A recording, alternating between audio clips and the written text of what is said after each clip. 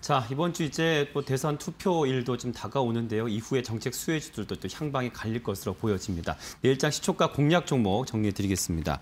자, 먼저 이슬 전문가 명신산업과 RFHIC 이렇게 두 종목 보고 계신데요. 어떤 종목 분석해 주실까요? 네, 일단 명신산업 먼저 보시면 좋을 것 같습니다. 이 명신산업 같은 경우엔 그 이제 유명한 굉장히 그 테슬라에 이제 납품을 하고 있다라고 좀 보시면 되겠는데요. 일단 전기차에는 이 핫스탬핑이라는 기술이 이제 필수적으로 들어간다라고 좀 보시면 되는데 이 핫스탬 핫스탬핑을 지금 명신산업이 지금 담당을 하고 있습니다. 그래서 이 핫스탬핑 같은 경우에는 이제 기술을 한번 접목을 시키게 되면은 강도가 한 세 배 정도 더 높아진다라고 좀 보시면 될 것 같고요. 어, 또 더 많은 이제 중량을 또 지탱을 할 수가 있습니다.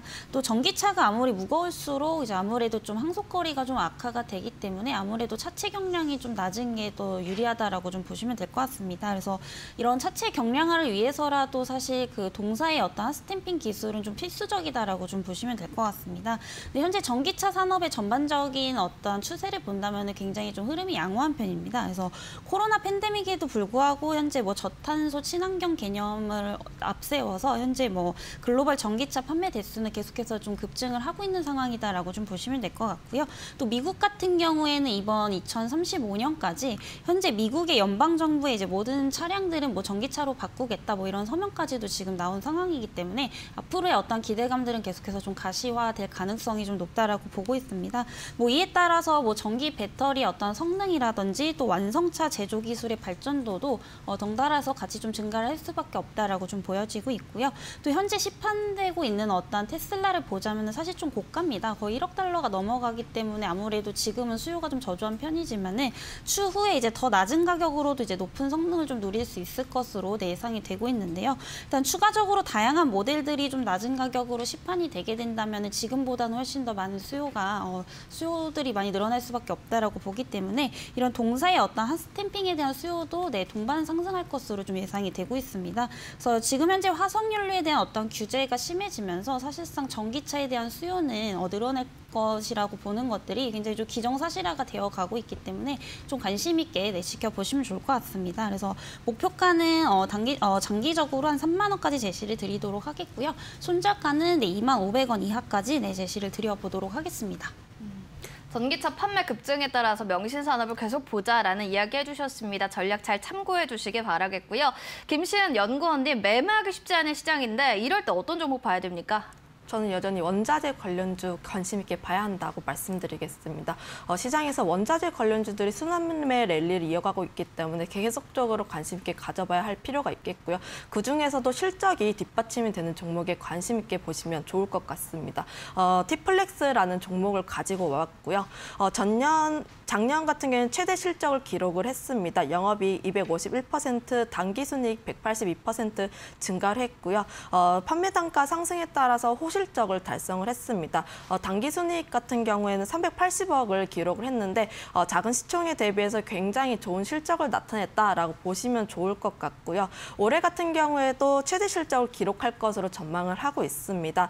어, 아무래도 전반 산업이 수요가 회복이 되면서 그에 따른 추가적인 매출 기대가 기대감도 나타나고 있고요. 선박이라든지 플랜트 관련된 이벤트도 부, 나타나고 있기 때문에 그에 따른 어, 이벤트 부각이 나타날 가능성이 굉장히 높습니다. 어, 더불어서 뭐 포스코 가공협력센터에 지정이 되었고요. 어, 초기 투자 같은 경우에는 감가상각비가 감소가 되었기 때문에 실적 개선 요인도 존재를 하고 있다라고 한번 보시면 좋을 것 같습니다. 앞서서 설명했다시피 원자재 관련된 종목입니다. 원자재 가격이 상승을 하게 되면서 그에 따른 수혜를 얻을 것으로 보고 있습니다. 스테인리스 스틸 사력, 사업을 주력으로 진행을 하고 있는데 관련 본강 부분에서 시장 점유율 1위를 차지를 하고 있고요.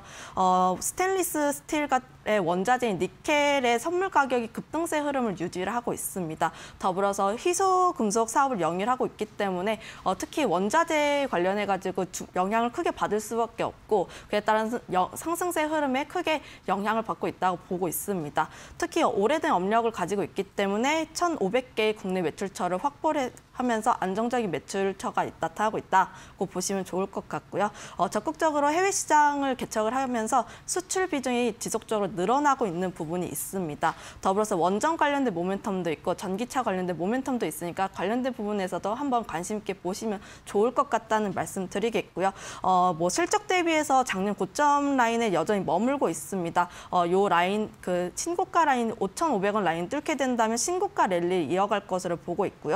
구조적 성장이라든지 뭐 원자재 그리고 전기차 원전 관련된 다양한 모멘텀이 있기 때문에 어, 이평선 정배열에 따라서 강한 시세가 나타날 것으로 기대가 되고 있습니다. 매수가는 시초가에 접근을 하셔도 좋지만 5천 5,100원 라인까지 분할적으로 매수를 하셔도 좋겠고요. 목표가는 6,500원, 손절가는 4,350원 제시해드려 보도록 하겠습니다. 네, 내일장 시초가 공략 종목으로 티플렉스와 명신산업에 대한 분석해드렸고요. 이와 함께 RFHIC 그리고 콘텐츠 기업이죠. A스토리 또한 최근에 기관의 매수세 계속 들어오고 있습니다. 어, 주가 상승 랠리 보이고 있으니까요. 뭐 함께 눈여겨보시기 바랍니다. 자, 오늘 두 분 전문가 유리네 캐스터 수고하셨어요.